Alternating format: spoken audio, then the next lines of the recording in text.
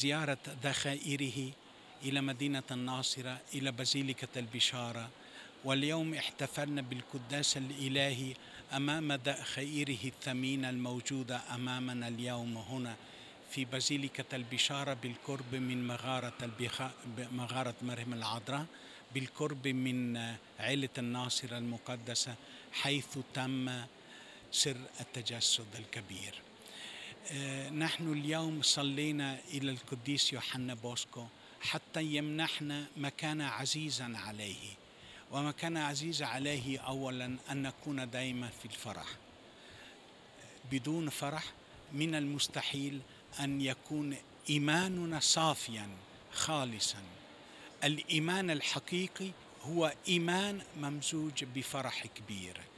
ثانيا الإيمان الحقيقي يساعدنا على أن نبني ونزرع وفعلا ننشر فيما بيننا السلام. لأن السلام مسألة قلب. السلام حتى العلاقات بين الدول الحروب العلاقات بين الديانات والحضارات هذا السلام ينبع من القلب.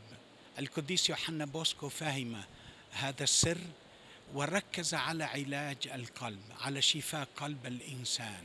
ولذلك أسس الرهبان السليزيان والرهبات السليزيان ولذلك أسس المدارس وأسس كل أسلوبه التربوي على الأسلوب الوقائي على أسلوب علاج القلب وشفاء القلب. أما بالنسبة إلى الأسلوب الوقائي المميز عند القديس يوحنا بوسكو وهو كما هو معروف أكبر مربي في تاريخ الكنيسة. هذا الأسلوب مبني على ثلاث ركائز رئيسية. هي العقل الدين والمحبة.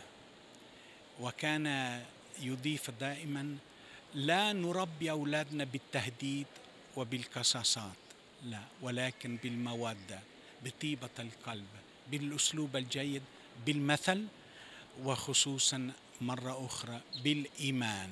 لا تنسوا أيها الشبان أيها الأولاد كان يكرر باستمرار أن الله معكم يراكم يسمعكم في كل مكان في سر قلبك في سر غرفتك في بيتك في مدرستك في مجتمعك في رعيتك في مدر... في كل مكان. الله معك الله يحبك الله يرفيفك.